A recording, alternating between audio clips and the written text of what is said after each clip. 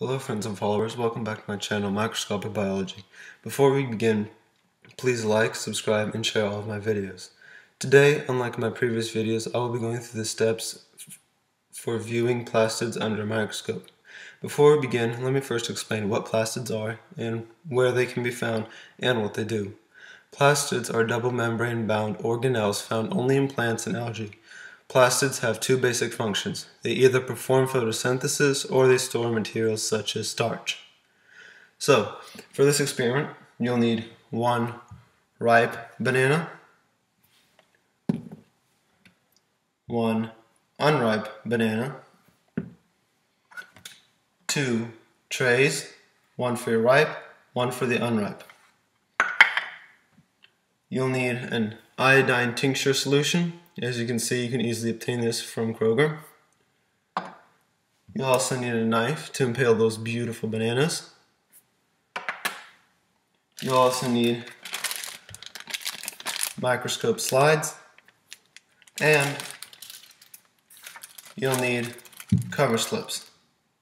These cover slips are small square pieces of glass that go over your specimen and they help you to view it better under the microscope. Lastly, but definitely not least, you do need a microscope, which you cannot see, but is right here beside me. So let's begin.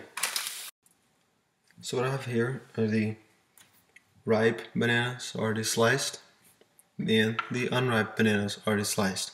Now, as you can see, you want these to be almost paper thin so that the light from the microscope is able to penetrate through the sliced bananas. In addition, I've also placed one slice of the ripe banana on the slice on the slide and another slice on the unripe uh, from the unripe banana on the slide. Now as you can see here you want to mash them down just a little bit so that you, you get a better viewing experience under your microscope. Open your iodine tincture bottle, place about one or two drops of the iodine solution on top of your bananas.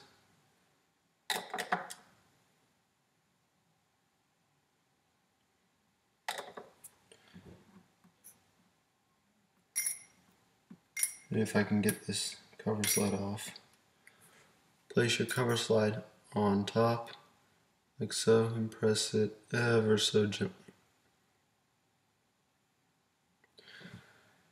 Do the same thing for your unripe slide and I'll see you under the microscope.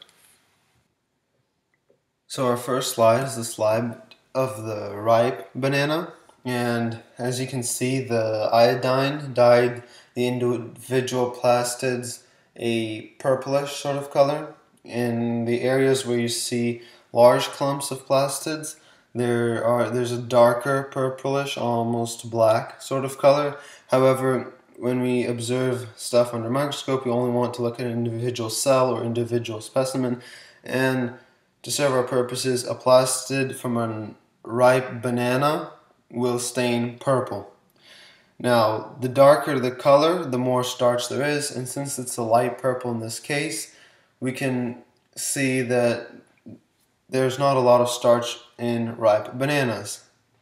Indeed, when you eat a ripe banana, it tastes sugary and less on the starch sort of side.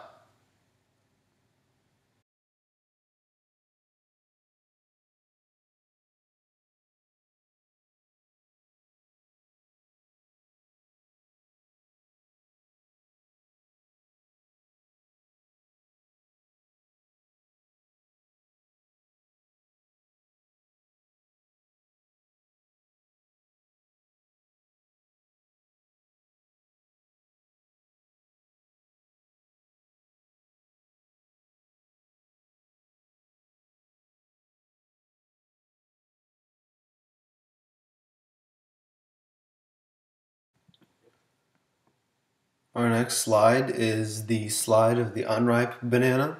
As you can see, there's a considerable difference between the two. These plastids stained a very dark blue. It's almost bluish black. And this difference is due to the large amounts of starch present in the plastids of an unripe banana and when you do eat an unripe banana, you can clearly tell there is a large amount of starch present in an unripe banana, which is why it doesn't taste as pleasing as a ripe banana. To conclude this experiment and video, we can clearly see how the starch plastids were dyed a very dark blue black color in the unripe banana, while only a hint of purple blue was all that was observed in the ripe banana. And in fact, according to Healthline, a ripe banana contains only about 1% starch, while unripe bananas have up to 80% starch. If you want to learn more about why iodine dyes starch and not sugar, or if you want a step-by-step -step procedure for this experiment, it's all in the description box below. So that's it for today's video. Please subscribe and give this video a thumbs up. And until next time, I'm Mike from Microscopic Biology.